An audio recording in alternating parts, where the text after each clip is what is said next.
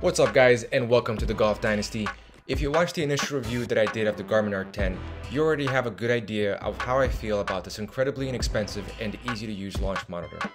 The review was short and just about my general impressions of the device, so I didn't go in much detail on how accurate it was because I was saving that for a real test like the one I have lined up for you in this video.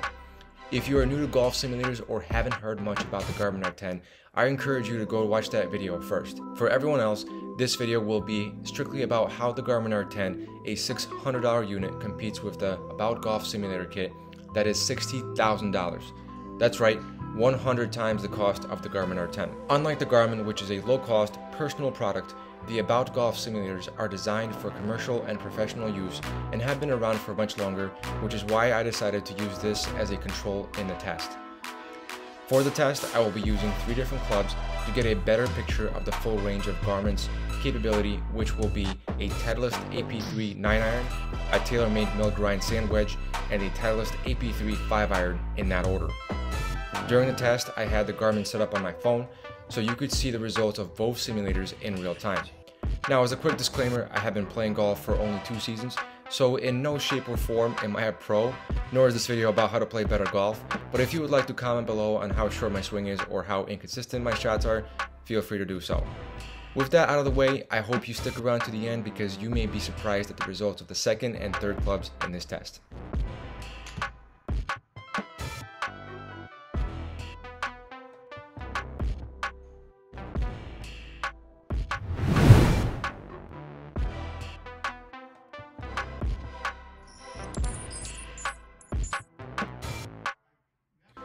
From now on, you are watching the actual footage of the test with no voiceover so you can see the results for yourself.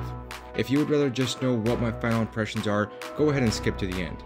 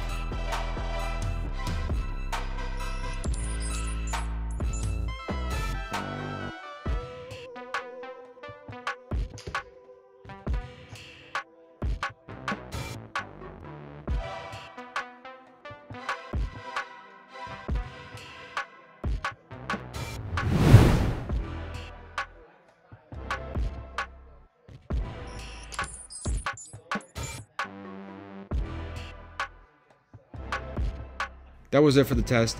I'll let you watch the results for yourself without getting too much of my opinion on it so you can form your own conclusions. So what did I personally get out of the results? Well to me it looks like the Garmin's accuracy is a mixed bag. The results are great for the 9 iron, but for the sand wedge and the 5 iron, the results were quite scattered. My guess is that the Garmin just doesn't have nearly as much to go off of considering how low cost the unit is, so it makes heavy use of estimating to come up with results which is much more suited to the 100 to 150 yard range, while the shorter and longer distances tend to suffer. Despite all that, I am still blown away by how much bang for your buck you can get out of this device. Also, before I hang my hat on these results, I must say that testing simulators is extremely difficult considering all the factors that go into each one of them, so I would not be surprised if things like the use of RCT balls and some extra ball flight distance would significantly improve the results of the Garmin. Thanks for watching and being a supporter of the channel. If you like this content, it would really mean a lot if you would hit the like button and subscribe to the channel because I have tons more videos like this to make and your support means the world to me. But before you go, I hope you check out this video next.